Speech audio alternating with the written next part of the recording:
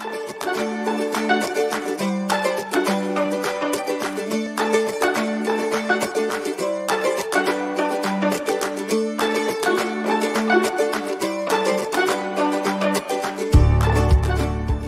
old quail atau yang sering kita sebut dengan anak burung puyuh yang berusia satu hari hingga 48 hari ke bawah. Singkatnya bisa disebut DOQ.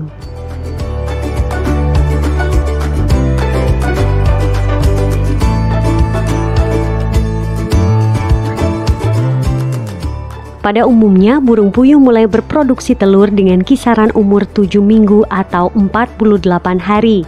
Dalam proses pembesaran, tentunya pemberian pakan dan jenis pakan yang diberikan sangatlah berbeda dengan burung puyuh yang telah berproduksi telur.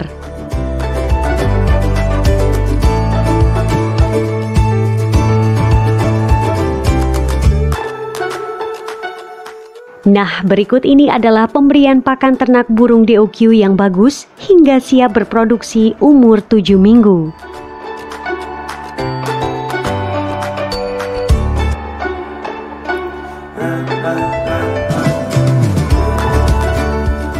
Untuk pemberian pakan puyuh yang bagus untuk DOQ, Anda bisa menggunakan 511B Karun Pukpan. Jenis pakan ini biasanya sering digunakan untuk ayam pedaging.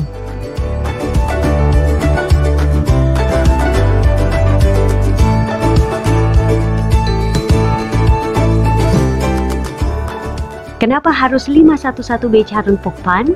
Karena para peternak burung puyuh ketika sedang melakukan pembesaran pada DOQ hingga burung puyuh siap produksi sangat menginginkan pakan yang berkualitas bagus dan juga memiliki sifat efisien dalam penggemukan dan pembesaran seperti halnya ayam pedaging. Namun pemberian pakan ini hanya saat pembesaran bibit burung puyuh saja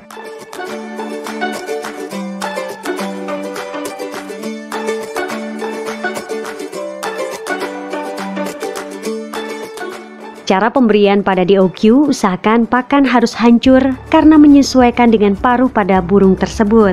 Anda bisa menggilingnya atau menghancurkannya secara manual.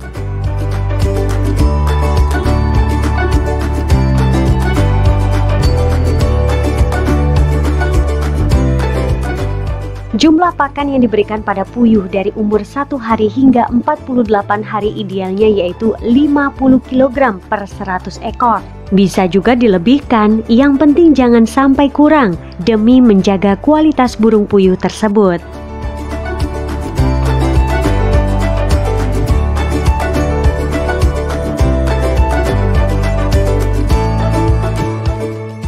Untuk pemberian pakan di usia 30-48 hari, Anda bisa berhenti menggunakan pakan 511B Carun Pokpan dan beralih ke PP3. Pakan jenis ini memang diperuntukkan sebagai pakan puyuh petelur dan harganya pun lebih hemat dibandingkan pakan 511B.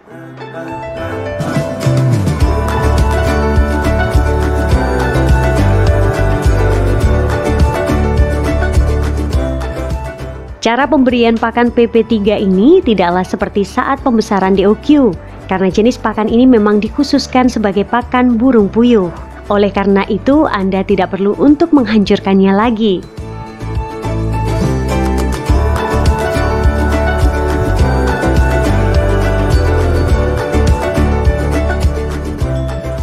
Untuk takarannya yaitu 22-23 gram per satu ekor burung puyuh dalam sehari.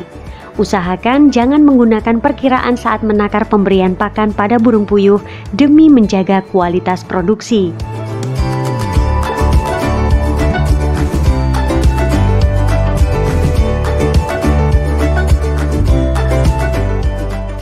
Setelah berusia 48 hari, burung puyuh sudah memasuki usia produksi.